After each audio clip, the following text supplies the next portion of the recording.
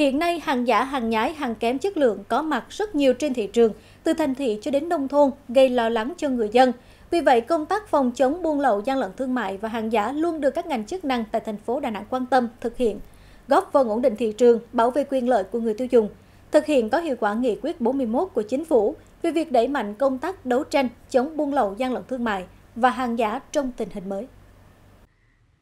Nhờ bám sát chỉ đạo của Chính phủ, Thủ tướng Chính phủ, Ban chỉ đạo 389 quốc gia, Bộ Công Thương, Ủy ban nhân dân thành phố Đà Nẵng, Ban chỉ đạo 389 thành phố đã chủ động trong xây dựng kế hoạch thực hiện, chỉ đạo các đơn vị thành viên thực hiện công tác đấu tranh chống buôn lậu, gian lận thương mại và hàng giả trên địa bàn.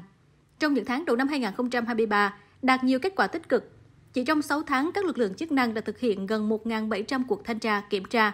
Qua đó đã phát hiện và xử lý hơn 1.500 vụ việc vi phạm, tăng gần 48% so với cùng kỳ năm ngoái, khởi tố 29 vụ, tăng 30% so với cùng kỳ năm 2022. Tổng số tiền thu nộp ngân sách nhà nước trên 120 tỷ đồng, tăng gần 25% so với cùng kỳ.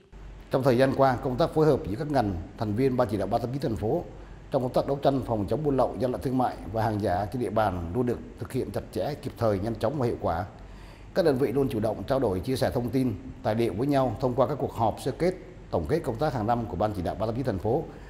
hoặc tùy theo tình hình nhiệm vụ của từng đơn vị mà có sự trao đổi với các hình thức khác nhau. Để đạt được kết quả đáng ghi nhận trên, các đơn vị thành viên Ban chỉ đạo 389 thành phố đã được phân công thực hiện đúng chức năng, nhiệm vụ thẩm quyền, phối hợp chặt chẽ trong hoạt động thanh tra kiểm tra và xử lý vi phạm, không gây tác động xấu đến thị trường, không làm ảnh hưởng cản trở hoạt động sản xuất kinh doanh bình thường, đúng quy định pháp luật của các tổ chức cá nhân, từ đó đã phát hiện xử lý nghiêm nhiều vụ việc vi phạm nghiêm trọng, giá trị hàng hóa vi phạm lớn, góp phần đảm bảo an toàn tính mạng, sức khỏe và lợi ích của người dân trên địa bàn. Trước hết là vẫn tiếp tục cái công tác tuyên truyền giáo dục pháp luật về hoạt động xuất khẩu cho cộng đồng doanh nghiệp người khai quan. Đây là yếu tố rất là quan trọng bởi vì khi mà tuyên truyền sâu rộng thì cộng đồng doanh nghiệp, người dân cũng hiểu biết, chia sẻ, ờ, thực hiện tốt cái công tác quản lý về hải quan, tạo điều kiện hỗ trợ doanh nghiệp, đồng thời cũng là thực hiện tốt và nghiêm túc các nghiệp vụ kiểm soát hải quan tuần tra kiểm soát nghiên cứu địa bàn nắm tình hình rồi các biện pháp khác để mà xác định được cái trọng điểm nguy cơ để chúng ta thực hiện tốt cái công tác này. Theo dự báo trong những tháng cuối năm 2023, tình hình kinh tế và đời sống của người dân sẽ còn gặp nhiều khó khăn. Giá xăng dầu biến động nên đã tác động đến giá cả mặt hàng, vật tư phục vụ sản xuất và các mặt hàng tiêu dùng. Bên cạnh đó, thời điểm cuối năm, nhu cầu mua sắm các loại hàng hóa của người dân sẽ tăng cao. Đây là cơ hội để các đối tượng buôn lậu, gian lận thương mại, sản xuất kinh doanh hàng giả, hàng kém chất lượng hoạt động – Cùng với đó, các hoạt động thương mại điện tử nở rộ, xu thế người tiêu dùng lựa chọn mua sắm trên các trang thương mại điện tử hoặc các nền tảng mạng xã hội tăng cao, kéo theo việc buôn bán hàng nhập lậu, hàng không rõ nguồn gốc xuất xứ, không đảm bảo an toàn cho tiêu dùng là rất khó tránh khỏi.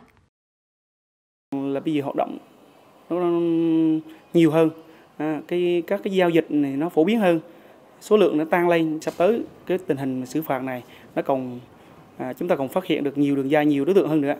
Để chúng ta bình ổn giúp cho các cái đơn vị các cái công ty sản xuất trong nước à, nó có một cái môi trường hoạt động lành mạnh người dân thì được tiếp cận với nguồn hàng hóa có nguồn gốc xuất xứ rõ ràng.